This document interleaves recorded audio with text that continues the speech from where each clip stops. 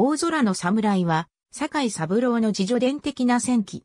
坂井三郎の最初の戦記にあたるものは1953年に出版共同社より刊行された坂井三郎空戦記録である。これとは別の新作として、マーチン・ケイディンなどとの共著で、侍が出版されている。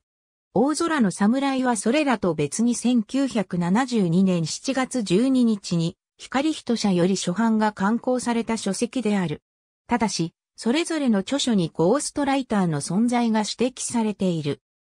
作家の神立、直樹の取材では、坂井三郎空戦記録は、福林正幸が坂井への取材や、独自の取材などをもとに書き、侍は、フレッド斎藤による坂井へのインタビューをもとに、マーチン・ケーリンが脚色して書き、大空の侍は、三人社社長の高木はじめが、アメリカ的な空戦活劇である、侍、を坂井と相談して、日本向けに直したことを、坂井も認めている。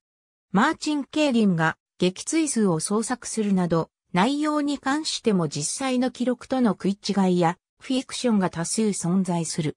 映画、岸壁の母を制作した体感プロダクションが企画、東方の制作、配給により、1976年に映画化され、全国東方系で公開された。表題は同じだが、内容は出版されている、坂井三郎のどの時点にも基づかない、オリジナル作品である。体感プロダクションは、ネズミ校組織である、天下一家の会の宗教法人であり、堺が天下一家の会の広告等的存在だったこともあって、本作はその資金提供を受けていた。訴訟が相次ぎ、ネズミ講は社会問題化していたが、宗教法人が映画によって広報活動をする流れで映画化されている。